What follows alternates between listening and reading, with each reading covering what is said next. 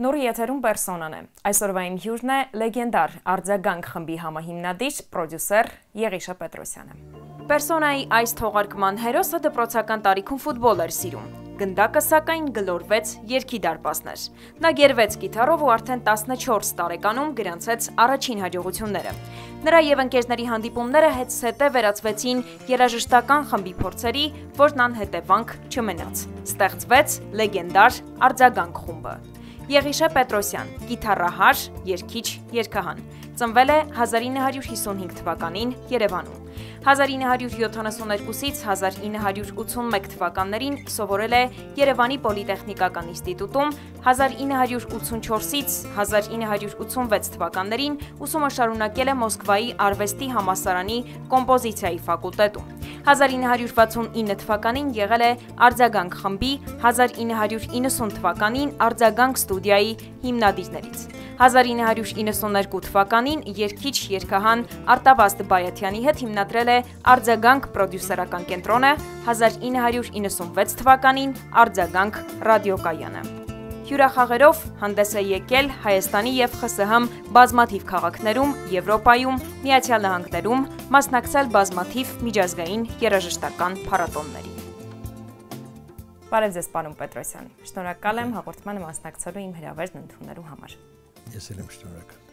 Դպրոցահասակ ֆուտբոլասեր Եղիշան հանկարծ գիտարը սիրեց։ Պարոն Պետրոսյան, այդ որտեղ էր գնդակի եւ գիտարի կապը։ Ուրեմն Բարև մամաճանից։ Որտեղից գիտեք այդ բաները։ Ես շատ լավ ֆուտբոլ էի խաղում։ Շատ լավ։ Մեծ հույսեր էին կապում ինձ հետ։ Վնասվածքի պատճառով հիվանդանոցում հայտնվեցի։ Եվ այնտեղ մի սփյուռքահայ տղա կար, գիտար էր նվագում չգիտեմ ինչ որ բան մեջս պայթեց թե հրաբուխ եղավ ինչ եղավ եւ ես որոշեցի որ ես էլ պետքա անպայման նվագեմ մի փոքրիկ տենց փորձեր արեցի նրա այդ հիվանդանոցում եղած ժամանակ ու այդ դրանից հետո արդեն կյանքս փոխվեց ֆուտբոլը վերած վերացավ իմ կյանքում մնաց որպես զուտ հոբի եւ սկսեցի երաժշտության մեջ խորանալ ու մինչև հիմա էլ մնացի այդտեղ։ Ունեիք գիտար։ Չէ, չունեի, պետք էր առնել։ Դժվար, դժվար պատմություն էր դա։ Ինչպես ձեռք բերեցիք այդ գիտարը։ Ուրեմն խանութում կային ռուսական գիտարներ։ Երկու տեսակի 750 եւ 950 ռուբլի արժեքով երկար սպասելուց հետո վերջապես ինձ նվիրվեց 7.50 ռուբլի 50 կոպեկը, որպես ես գնամ այդ գիտարը առնեմ, բայց իմ աչքը ճիշտ ասած 9.50 անոցի վրա էր։ Եվ այդ 2 ռուբլին ճարելու հարց կար։ Եվ երբ ես իմ համադասարանցուն պատմեցի դրա մասին, որ ցանկալի էր ինքը ասեց տղերքը ամեն դասերից հետո այգում կարթ են խաղում աչքո երկու ռուբլի կկրես ու կգնաս կառնես այդ ես ոգևորվեցի կյանքում առաջին անգամ մտա գումարի մեջ եւ ամբողջ 750-ը տարվեցի այդ չգիտեմ այդ ապրումները աշխարհը փուլ եկավ պատկերացնում եք ամիսներով սպասես, որ այդ գումարը տան ու դու սենց մի երկու ժամում կամուն տաս։ Մի ահավոր բաներ, չգիտեմ, ողբերգություն էր մեջս։ Ես եկա տուն եւ մորակրոջս տղան իմանալով ինչ խնդիր է համարի հասակակից ենք ասեց գիտես մի ձև կա փող փողը վերադարձնելու, ասեց ես մի քիչ փող ունեմ կուտակած կասայում։ Արի գնանք կինոյի տոմս առնենք վերավաճառելով հնարավոր է մեծ հերթեր են։ Մի խոսքով նա հանեց իր կասայի գումարը, եկանք կինո հայրենիք, որտեղ հրաշալի 7-նյակ ֆիլմներ Ռեյգանի մասնակցությամբ բանեց, բումեր հա ժողովուրդը ժամերով հերթեր կանգնում, ոստիկանները շներով հերթ էին պահում եւ այլն։ Եվ մենք երկուսով կանգնեցինք, լիմիտավորված էր քանի տոմս առնել 25 կոպեկանոց տոմսեր առանք 50 կոպեկով վերավաճառեցինք մի քանի անգամ եկանք շոր փոխեցինք նորից գնացինք երթ կանգնեցինք մի խոսքով այդ գումարը հավաքվեց եւ դա էլ առաջի բիզնեսն էր ուրեմն առաջի գումար եւ առաջին բիզնես համարյա նույն օրում եւ ունեցա այդ գիտարը։ Պահպանվել է ձեր գիտարը։ Չէ, չէ, չի պահպանվել։ Ես իմ ամբողջ ես ճանապարհին շատ գիտարներ եմ փոխել եւ շատ գիտարներ եմ աճ ցախ նվիրել, ճիշտն ասեմ։ Առաջին գիտարն ում եք նվիրել։ Չեմ հիշում։ Չեմ հիշում։ Ես այդպիսի բաներում այդքան նրբանկատ չեմ։ Ունեմ այդ խնդրեմը ես շատ բան չեմ կենտրոնանում այդպես բաների վրա ինձ այդ բանը հայտարքիր արեցի հասա այդ բանին հետո արդեն ինքն ինձ անհետարքիր այդպես ես իմ արխիվները չեմ կարողանում պահել հա չեմ կարողանում պահել դուք սիրեցիք գիտարը բայց գնացիք Երևանի պոլիտեխնիկական ինստիտուտ պոլիտեխնիկում ինչ էիք փնտրում? Օ, ես ասեմ, ես մաթեմատիկայից շատ լավ էի դա ինձ ընդհանրապես ասեմ, բացի անգիրից անգիր չեմ սիրել անել։ Որևիցե մի բան պարտադրված ես կյանքում չեմ սիրել։ Ես ասենք բացարձակ երազանց սովորում էի դպրոցում, բայց անգիրներից ստանում էի 1 ու 2։ Չէի սովորում։ Չգիտեմ, ինչ որ բանից խանգարում էր։ Եվ հատկապես մաթեմատիկական առարկաները ճշգրիտ գիտությունների, հա, երկրաչափություն, բան, դրանք ինձ համար ոնց ասեմ, ինչպես արևածաղիկ չրթելը լիներ, հա։ Դա ինձ տրվում էր, ես շատ չէի աշխատում ինձ վրա, բայց դա ինձ բան էր անում։ Ես առաջ ընկած էի այդ առումով եւ շատ հեշտ ընդունվեցի պոլիտեխնիկ կիբեռնետիկայի ֆակուլտետ։ Իմ դասատուն ինձ առաջարկեց, որ նոր ճյուղեր են բացվում, կիբեռնետիկա դա գիտության նոր ճյուղ է, բան ցանկալի է որ դու այդ ուղությամբ գնաս, ես նրա խորհրդին հետևեցի, եկա համալսարան, որպեսզի ինտեգրի կիբեռնետիկան ընդունեմ, նորեր բացվել, բայց շատ երկար հերթեր էր եւ մի օր էր մնացել ինձ գործերս տալու, որովհետեւ իմ բնութագիրը դպրոցից շատ ուշ տրվեց իմ վարկի հետ խնդիր կար։ Հա, անհնազանդ տղայի։ Եվ որոշ ուսուցիչներ ինձ շատ համակրում էին։ Իսկ ոմանք էլ շատ մեծ թշնամանքով էին։ Եվ ես ձեզ պետք է ասեմ, որ այդ ինձ համակրող ուսուցիչների ուղղորդումները իմ կյանքում դեր ունեցան։ Հա, վերջի օրով ինձ իմ դասխեկը տվեց բնութագիրը եւ ես պետք է հասցնեի գործերս տայ։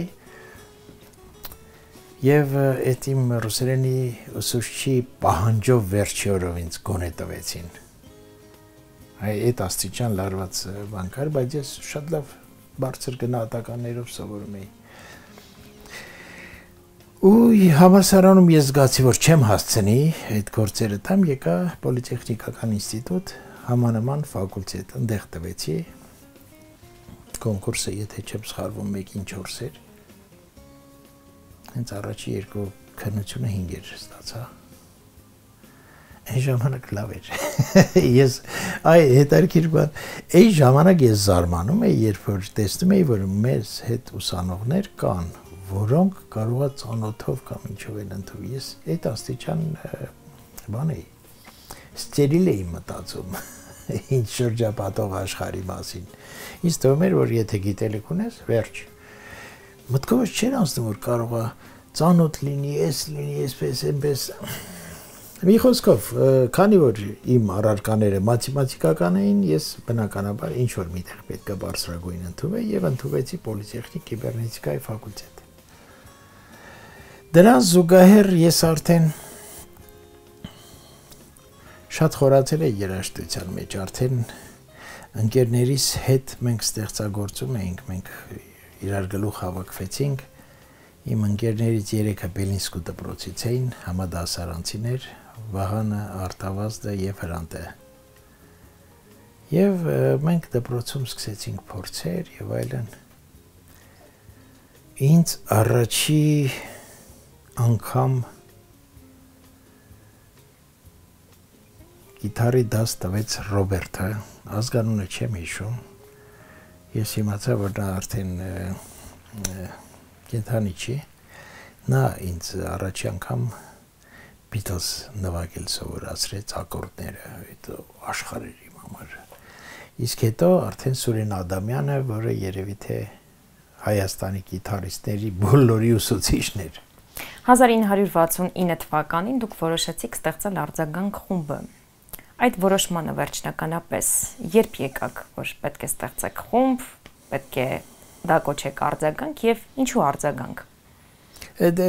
զանազան անուններ էինք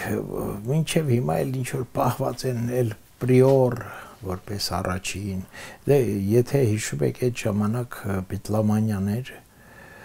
Beatles-ներ, Rolling Stones, Led Zeppelin, Deep Purple-ես աշխարհը երրում էր այս նոր ուղություններով երաշտական, հա, հատկապես ռոքընրոլային եւ մենք էլ ուզում ենք մեր մեր լուման ունենայինք Հայաստանում եւ կարծում եմ ունենք մենք այդ լուման եւ ստեղծագործում ենք ամեն օր երեկոյան հավաքվում ենք ամեն մեկը հանում էր մի 5-ած ստեղծագործություն որ այդ օրը գրել էր եւ սկսում ենք քննարկել թե որը արժի պահել որը դենն է դեն ու ու լավ էր ընտրվեց Դժվար չէր խորհրդային տարիներին ստեղծել անկախ խումբ եւ գործունեություն ծավալել առանց որևէ մեկի աջակցության։ Ոյ, այդ այդ դա դա մի, չգիտեմ, հիմա որ հիմա հիշում եմ, ծիծաղելի այսքան, այսքան սարկավորում հիմա sense դրած, այսքան մատչելի անհնար էր պատկերացնել այդպիսի բան մենք հորինում էինք, ինքներս էինք սարքում ինչ որ բան, որի վրա կարողանայի։ Ես գիտեք քանի կիթառ եմ սարքել։ Եղբորս խնդրում էի ավագ եղբորս նա բերում էր ինչ որ փայտի տախտակներ էր բերում, ես ամբողջ օրը սղոցու շուշաթուղթը առած տաշում, տաշում, տաշում։ Սարքանի գիտար եմ սարքել եւ նվագել եմ դրանցով։ Այն ժամանակ շատ սով էր, դե սովետական միությունը փակ երկիր էր։ Փակ, բարիս բուն իմաստով եթե մի նոր հանգարց մի նոր դիսկ կամ նոր ալբոմ էր հայտնվում, մենք գիտենք, որ ասենք, այս ինչը ունի, այս ինչ դիսկը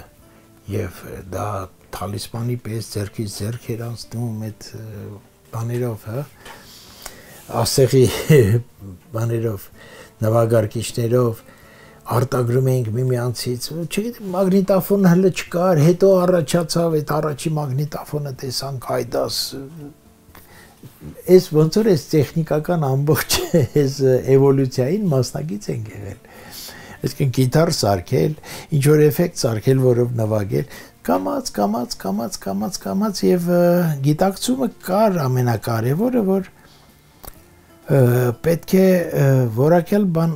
ցույց տալու համար պետք է որակյալ տեխնիկա ունենաս։ Եվ մենք սկսեցինք փող աշխատել զանազան միջոցներով։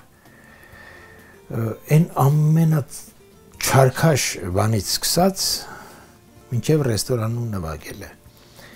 Օրինակ մենք եղելա որ ընկերներով, ասենք, վագոնով քար ենք դատարկել այդ վագոն դատարկելը 60 ռուբլի էր։ Պատկերացնում եք, մի ամբողջ վագոն քար էինք դատարկում, որպեսզի 60 ռուբլի ունենանք, դնենք մեր բանի մեջ, հա, կասայի մեջ, որպեսզի կուտակենք, ինչ որ մեկին մի գործի կառնենք։ էլ ցեմենտ ենք դատարկել, էլ երկաթ, ինչ ասես չենք, էլ ռեմոնտ ենք արել, էլ աբո ենք կպցրել։ Հետո անցանք մի քիչ ավելի հեշտ աշխատանքի, ավելի եկամտաբեր դա ռեստորաններ։ Ես համոզեցի տղաներին, որ ի վերջո պետքա փող վաստակել, որպեսզի կարողանանք տեխնիկա ունենանք եւ մտանք ռեստորան։ Ռեստորանում էինք անում արդեն փորձերը եւ այլն։ Լավ էր, փող վաստակում ենք եւ այդ կուտակած փողը տալիս էինք ապարատուրա ենք առնում։ Դժվարությունը գիտեք որն էր, այն ժամանակ չէին խրախուսում, ասենք, այն այն երաժիշտներին, ովքեր ուզում էին իրենց խոսքը ասել կամ ստեղծագործել իրենց երգը երգել, անպայման պետք է դա լիներ, ասենք, սովետական հաստատված, այսպես կոմպոզիտորների եւ այլն եւ այլն երգեր, այլ կերպ քեզ ուղակի բեմահարթակ չէին տրամադրի։ Այսպես է եղել բայց մենք փորձում էինք մերը անել եւ շատ ժամանակ ճանաչված գործեր կային, որ օրինակ մենք նվագում էինք եւ համարում էինք, որ դա էլ է մերը, ասենք այդպես մենք կատարել ենք ծիծեռնակը, օտարամայի ճամփեքը, այսպես շատ տարբերակներ է եղել եւ մեծ սիրով էինք կատարում եւ դա ոնց որ արդեն մեր է դառնար։ Արձագանքը դա այն խումբն է, որը յուրաքանչյուր խումբ այսօրվա երազեր այդ ճակատագիրը ունենալ, որ գնան կոնտրակտով Մոսկվա եւ այդ ձայնասկավառակների գործանում ապրելիցքի գործարան կար։ Իրանք կոնտրակտն են գնացին այս ծրագիրը նվագելու եւ ձայնագրելու։ Ամեն մեկին չէր առանձնացվում այդպիսի բախտ։ Եվ վերջը վերջո եւ հասավ մի օր 90 արդեն ես հայամերգից գնացի կինոստուդիա, հետո արձագանք, չէ, ասպարե ստուդիա 91 թվականին արդեն սկսեց այդ ստուդիաների ժամանակաշրջանը Եվ ստացվեց այնպես, որ մի օր Եղիշին էլի տես, արդեն դե հանդիպում էինք, խոսում էինք, համալիրում էինք հանդիպում համերգների ժամանակ։ Որտեղ երաշտական աշխարհը ինժանը շատ փոքր էր, հիմիկվա նման չի, այնքան շատ են, չգիտես ով ով այլի։ Ու Եղիշ մի օր ասեց, արի մեր մոտ էլի արձագանք ստուդիայի։ Ասի ո՞ւր հրավիրի գամ, ասի, բա ընկերս ես, դե ասես որ գամ։ Ու այտեն ստացվեց, որ 90, եթե չեմ սա 92-ին թե 3-ին Ես եկա համալիր արդեն արձագանք ստուդիա, ու այդ ժամանակ սկսվավ մեր արդեն ոչ թե միայն ես ու Եղիշ ընկերություն կամ մենք երաժիշտներով, այ արդեն մեր ընտանիքները իրար մտերմացան, մեր երեխաները իրար սկսեցին ընկերություն անել, 90-ականներին Արտավաստ Բայացյանի հետ որոշեցիք ստեղծել արձագանք պրոդյուսերական կենտրոնը, որը շատ մեծ դպրոց եղավ, շատ ու շատ հայտնի, այսօր արդեն հայտնի այն ժամանակ նույնպես երկիչ երկչուհիների համար։ Այստեղ ինչպես հաջողության հասակ գիտեք ընդհանրապես մենք արդար միջավայրում մեծացած տղաներ էինք եւ մեր ընտանիքներում չկար ինչ որ ձևական բաներ մենք շատ արդար էինք ամեն ինչին նայում եթե մի բան դուրներս գալիս էր ասում էինք լավ է եւ անպայման պետքա օգնեինք մեզ մեր գործունեությամբ քաջալերված երիտասարդներ էին գալիս մեր մոտ իրենց ստեղծագործությունները ցույց տալու, որովհետև կարծես թե ուրիշներին իրենք չէին հետաքրքրում։ Եվ մենք այդ այն երիտասարդներին, որոնք որ ասելիք ունեին, հետարքիր էին ստեղծագործում, մենք սկսեցինք նրանց քաջալերել եւ օգնել։ Էս էր այս, սա սա ընդամենը դարձավ բում։ Եվ արդեն ստիպված էինք, որ ամեն Կիրակի կոնսուլտացիաներ ունենալ գալիս էին տասնյակներով մարդիկ իրենց ստեղծագործությունները ցույց տալու ամենածիծաղելից մինչև ամենալուրջը ամեն ինչ էլ կար անգամ եթե կհիշեք մի ժամանակ Սամ Սիբե ռեժիսորը տենց մի բան կար ես առաջարկեցի որ ստեղծեք մի հաղորդում Սամ Սիբե կոմպոզիտոր որովհետև շատ զավեշտալի բաներ էին լինում մի խոսքով դրանց մեջից այն առավել հետարքիրներին մենք կարծես թե վերցրեցինք արձագանք ստուդիայի հովանավորության տակ։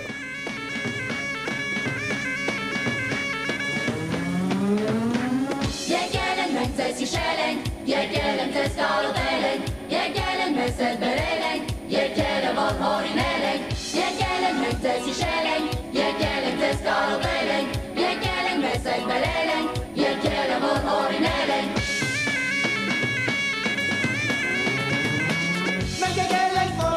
երգենք, ձեզ համար մեր նոր երգերը, մենք եկել ենք, որ նորից պարենք, տեսալոտ հայտի պարերը, մենք եկել ենք, որ նորից իշենք, հարազատ ու խենտորերը, մենք եկել ենք, որ նորից տեսնենք, ձեր շպիտ ու հայացները,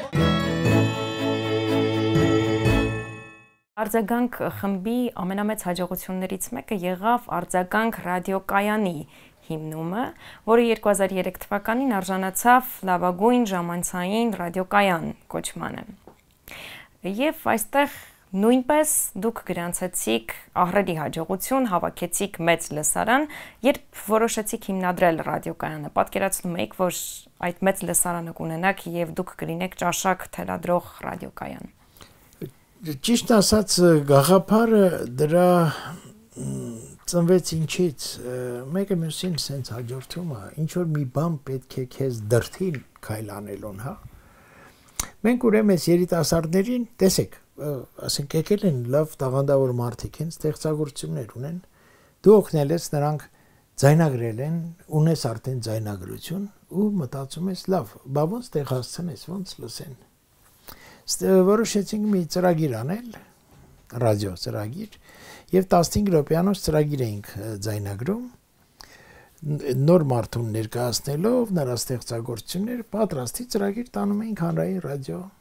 սկզբից շատ լավ էր այնտեղ մեծ հաջողություն եղավ բայց հետո մեզանից պահանջեցին որ մենք վճարենք նրանց քանի որ դրանով գովազդվում արձագանք ստուդիան շատ վիրավորական էր։ Երբ որ դու անում ես ահռելի աշխատանք, հանրօգուտ աշխատանք, ազգօգուտ աշխատանք եւ քեզ ինչ որ քեզ քեզանից պահանջում են որ դու վճարես նաեւ դրա համար որ քեզ եթեր են տրամադրում պետական եթեր առանց մտածելու որ դու անում ես շատ օգտակար գործ պետության համար, հանրության համար, հա Շատ վիրավորական էր այդ առաջարկը եւ հենց այդ օրը որոշում ընդունվեց, որ ես շատ չոր խոսակցություն ունեցա մի մարդու հետ, ասեցի ռադիո կբացեմ, բայց ես փող չեմ տա։ Ու парք ասում ինչ որ ես նոր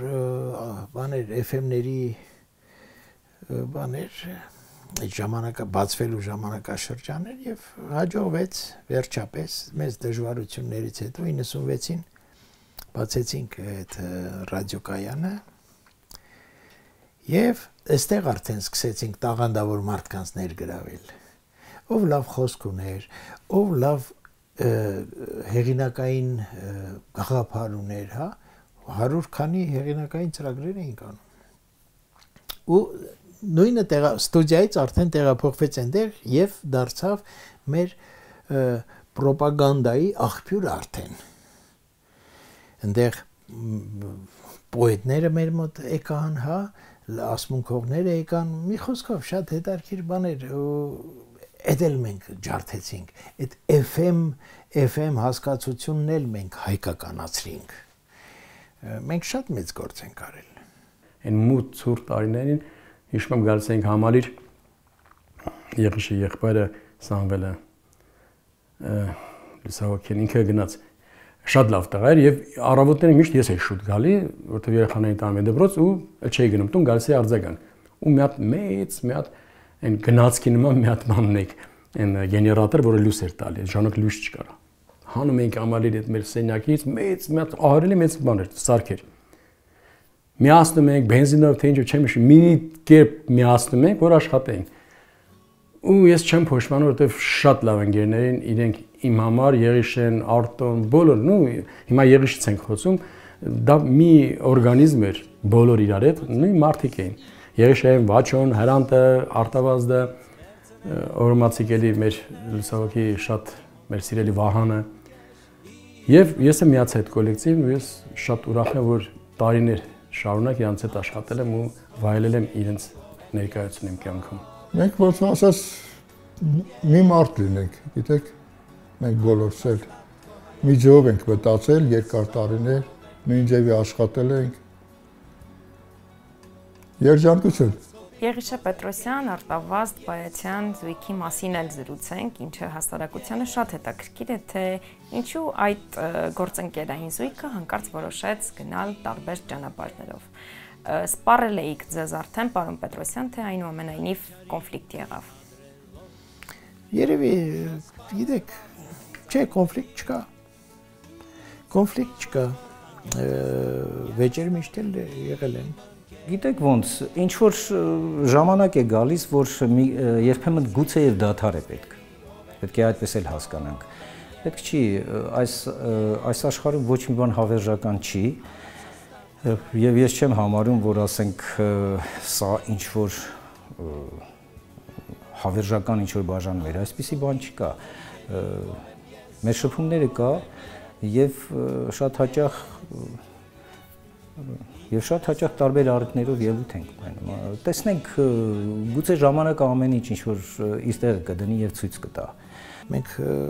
մտավորական մարդիկ ենք մեր կայուն արժի համակարգերով եւ բնականաբար մեր լավ բաները վեճերի արդյունքում են ծնվում եւ ընդհանրապես երբ որ խելացի մարդիկ վիճում, են կամ այսպես ասած մտնում են բանի մեջ հակասող երկխոսության մեջ անպայման մի բան ծնվում է շատ կարեւոր է երևի թե արդեն հոգնել էինք ես կգորջեի աս մեծ կյանքում անկասկած Եթե կողքից չլիներ դու իմ Իմ ասկալվեի Եթե վստակ քարը չզգայի իմ շողքում Առանց քեզ քո խոսքերի ով եմ ես, ով եմ ես Ես Առանց հաստատ քո հայացքի ով եմ ես, ով եմ ես Ձեր եւ Արտավազդ Բայացյանի հարաբերությունները պահպանվել են այժմ։ Հա։ Հա։ Ինքը երեք էստեղ էր մի բան էինք ցայնագրում։ Վակցինացիայի վերաբերյալ օտարերկրի ապերում ապրող հայերի համար այսպեսի բաներ անում ենք։ Բայց արդեն չգիտեմ, ինձ էլ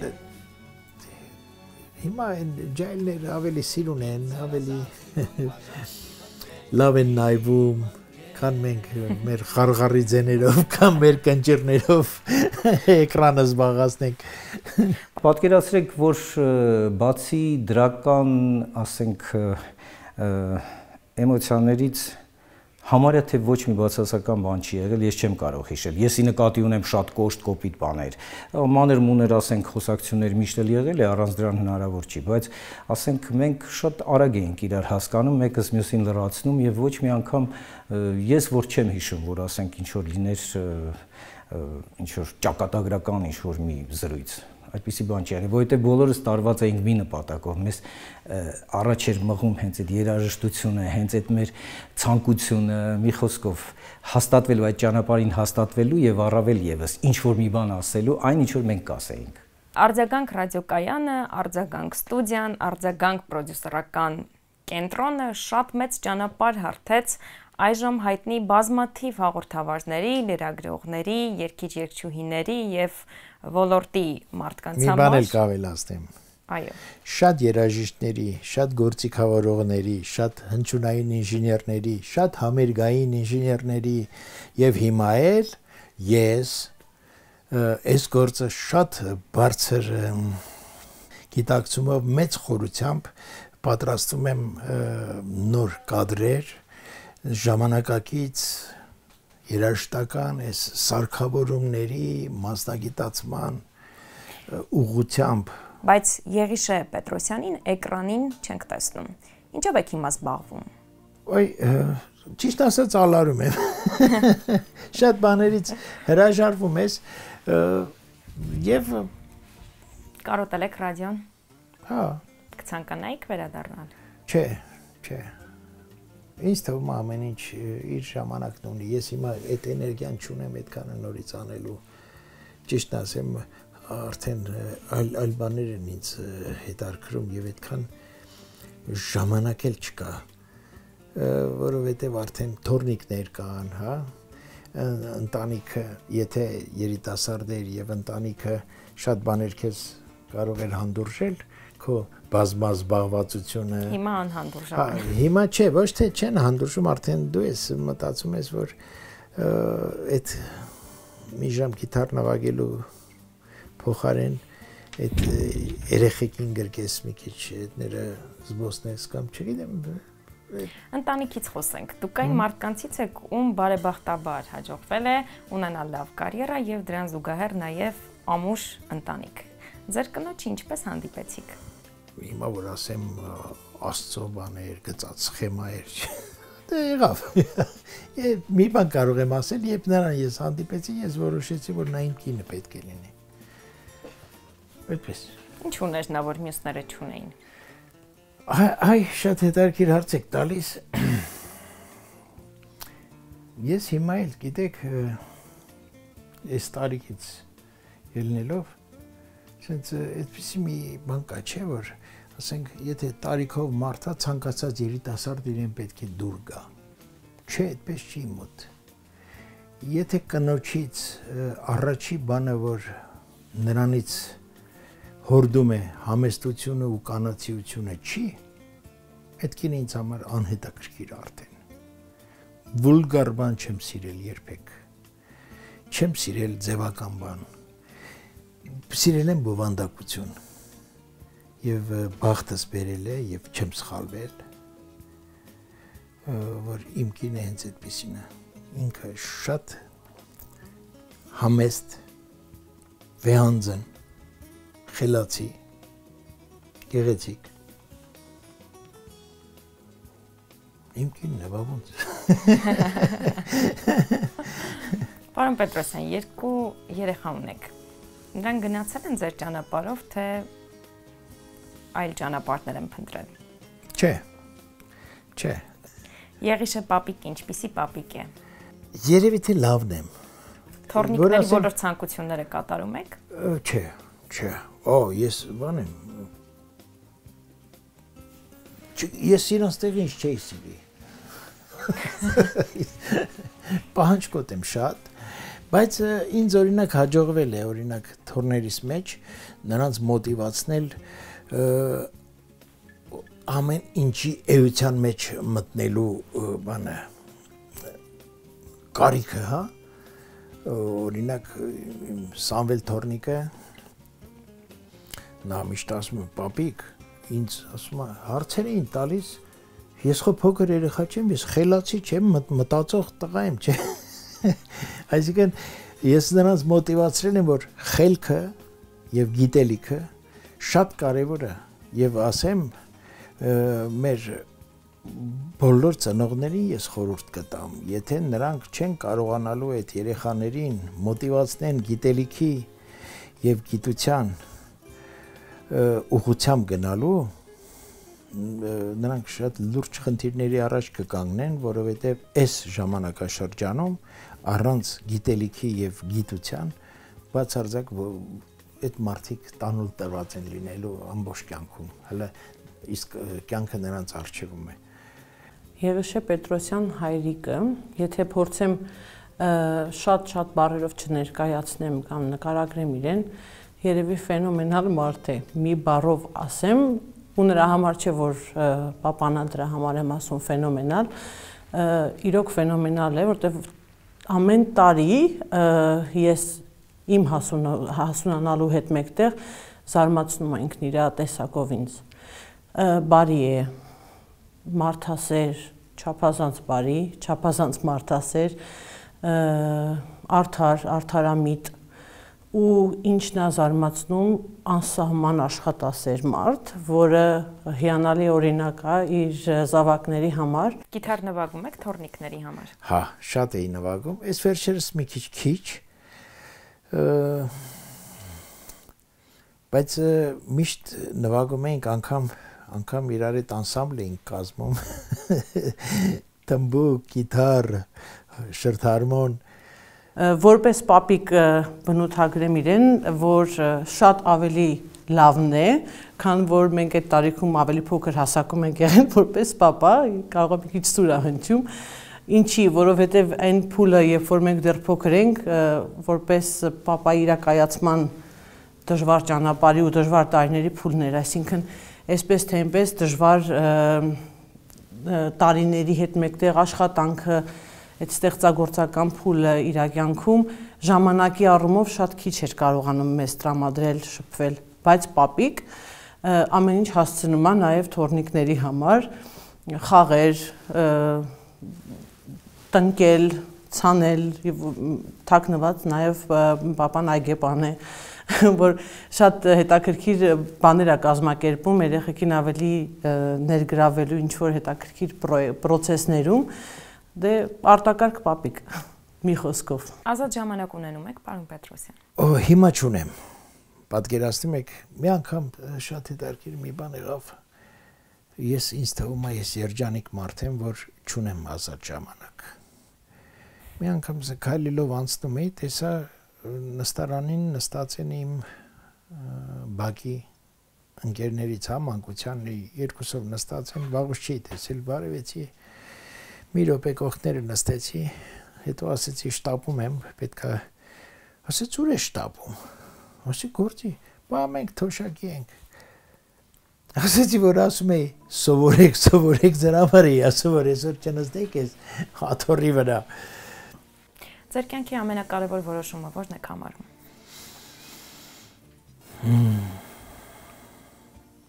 Երևի թե երևի թե այն որ ես միշտ իմ հույսը ինձ հետ եմ կապում։ Ինչ էլ որ ես նախաձեռնեմ,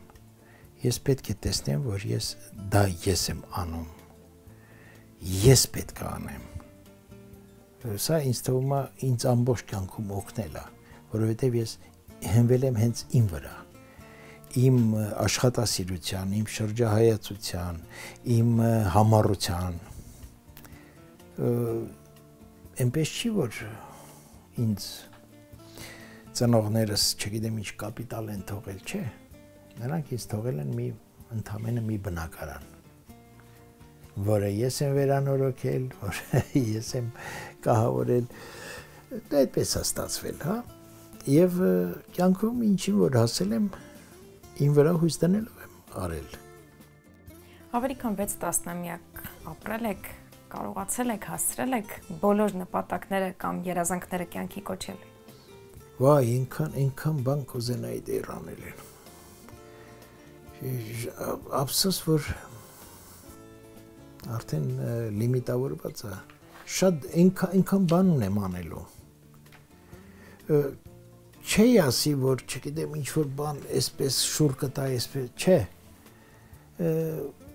Եվ եւ ինձ մեղադրելու պատճառներ ունեմ։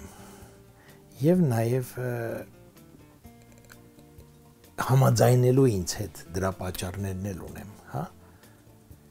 Ասենք միշտ իմը թողել եմ երկրորդ պլան։ Եղել է այդպես Այսինքն եթե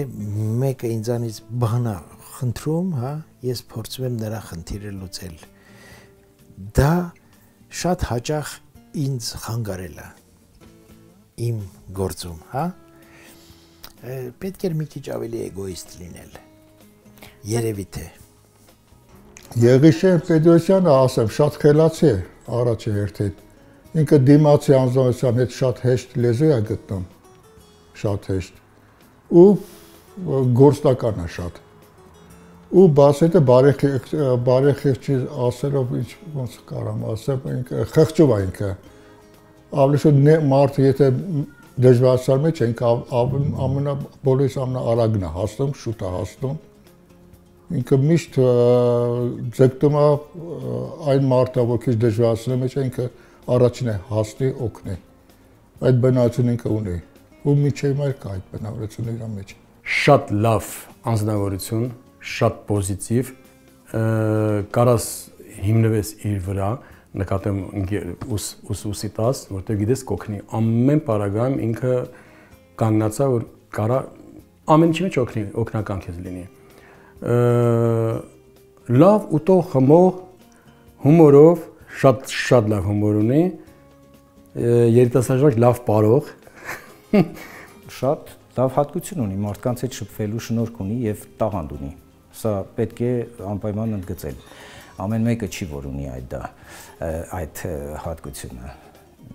Հետո ինքը նվիրված անznավորություն է։ Ինձ թվում է, որ դա երևի ամենակարևորը, կարևորագույններից է։ Թե գործին, թե ասենք ընդհանրապես ես իրան այդպեսին եմ ճանաչել. Թե իր ընտանիքին, թե գործին։ Այսինքն մարդ այդպեսին է լինում եւ ամենուր էլ նա այդպեսին կլինի։ Ինձ թվում է այստեղ ուրիշ բան չի կարող լինել։ Շատ լավ նկատում է, այսինքն այնի շարժեք ունի։ Այն մարդկանց է նկատում շատ արագ, ովքեր ինչ որ մի բան իրենցից ներկայացնում են։ Դա էլ շատ լավ հատկություն է։ Ձեր կյանքի ամենագեղեցիկ շրջանը ո՞րն եք համարում։ ցանկացած этаպում մարդ կարող է գտնել այդ երջանկության ֆորմուլան ցանկացած этаպում տարբեր էս բաներում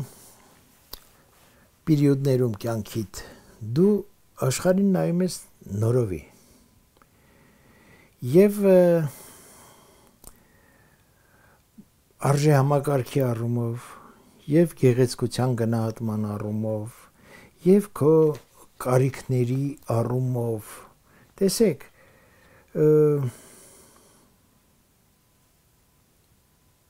սերը կյանքում երևի թե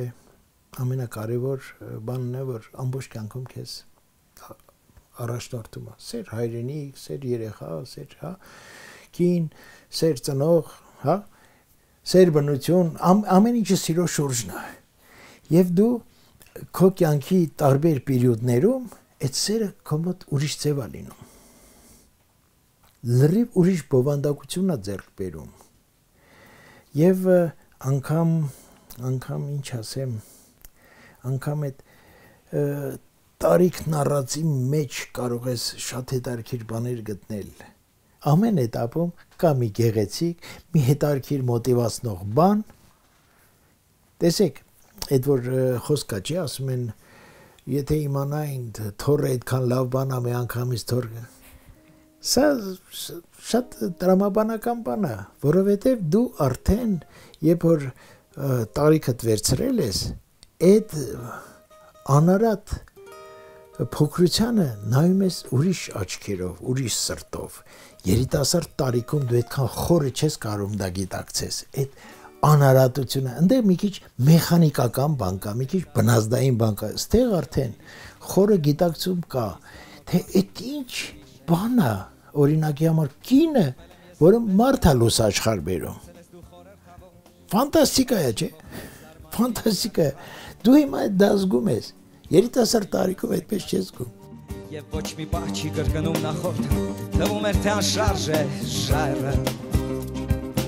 բայց այն շարժվեց ու փլուզվեց, անսպասելիորեն փոխվեց, բայց չի փոխվել նրան պատող աշխարը։ Ինչ որ մի օր, ինչ որ մի տեղ, կհանդիպենք իրար որպես անծանոթներ։ Որն է ձեր կյանքի ոսկե կանոնը։ Հույսդ քո վրա դիր։